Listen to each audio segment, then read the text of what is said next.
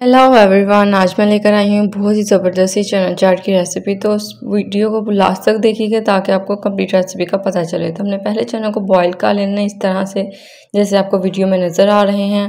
Then इनको ठंडा होने के लिए छोड़ दें और मज़ीद फिर आपने प्याज को बरीक बरीक काट लेना है, टमाटर और सब्ज़ मिर्च बरीक से काट के रख लेने हैं।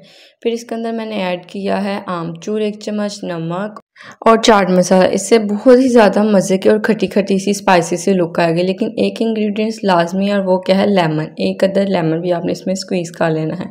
अच्छा ये जो मेन बात है वो ये है कि आपने इसमें पानी ज़रूर ऐड करना है। इससे आपकी चाट जूसी जूसी बनेगी और जोन सी है ना, वो खुश्क नहीं बनेगी। जैसा कि आपका ये चाट रेडी हो चुकी है और आपको नज़र आ ही रही है कि कितनी ये स्पाइसी और जूसी जूसी और इतनी खट्टी सी, तीखी सी, इतनी मज़े की ये बनी है ना। अगर आप इसी रेसिपी को फॉलो करेंगे तो आपकी चाट बहुत ज़्यादा अच्छी बनेगी और आपने इसको ज़रूर ट्राई करना है। वीडियो को लाइक शेयर और चैनल को सब्सक्राइब करना ना भूलिएगा। हाफिज़।